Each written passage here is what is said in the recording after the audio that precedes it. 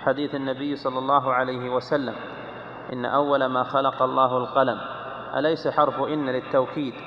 فتفيد تأكيد أولية خلق القلم قبل العرش؟ أولية نسبية يا أخي هو يفيد أولية لكن أولية نسبية. أول ما خلق الله القلم قال له اكتب قال له أول ما خلقه اكتب فهي أولية نسبية وليست أولية مطلقة وأما أولية العرش فهي أولية مطلقة. نعم. فرق بين الأولية النسبية والأولية المطلقة. نعم.